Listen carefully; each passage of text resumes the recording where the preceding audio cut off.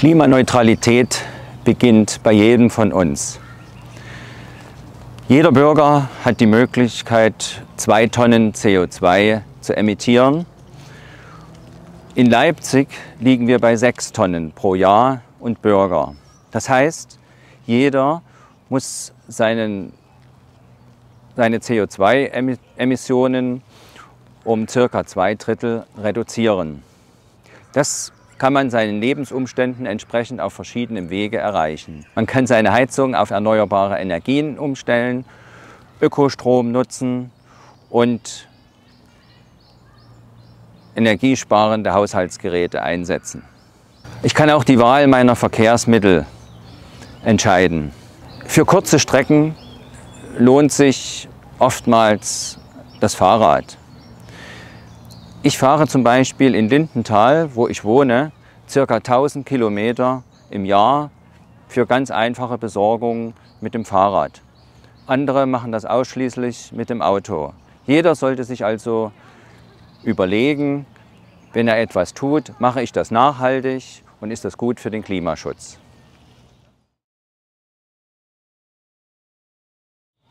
Als Ortschaftsrat von Lindenthal setze ich mich für mehr Grün auf den Schulhöfen ein.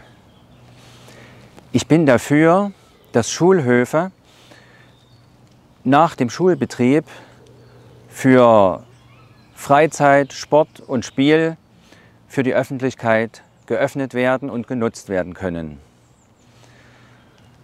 In Lindenthal habe ich mich zusammen mit dem Turn- und Sportverein und dem Förderverein der Freiwilligen Feuerwehr zusammen mit anderen Ortschaftsräten für den Neubau einer neuen Sporthalle an der Alfred Kästner Grundschule eingesetzt. Die alte, unsanierte Sporthalle entspricht in keinster Weise mehr den heutigen Anforderungen. Aus diesem Grund ist ein Neubau dringend notwendig. In wenigen Tagen soll die Machbarkeitsstudie dazu dem Ortschaftsrat vorgestellt werden.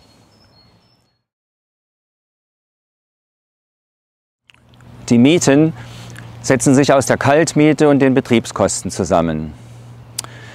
Deshalb ist es auch wichtig, dass die Betriebskosten möglichst niedrig sind.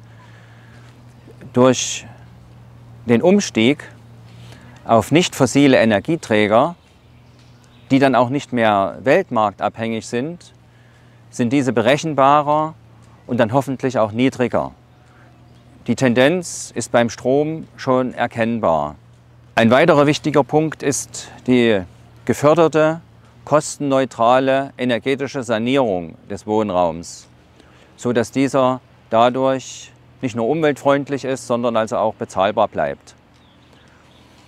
Und ganz selbstverständlich ist es natürlich, dass die Menschen so viel Geld verdienen müssen, dass sie von ihrer Arbeit leben und natürlich auch die Miete bezahlen können. So sollte es sein.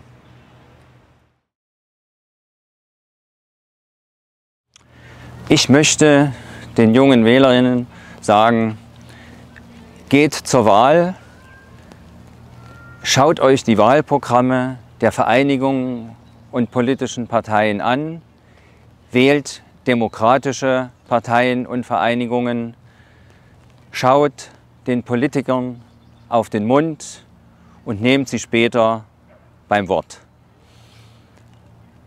Und nicht zuletzt engagiert euch selber in Organisationen, in demokratischen Parteien und bestimmt so ein Stück eure Zukunft auch selber.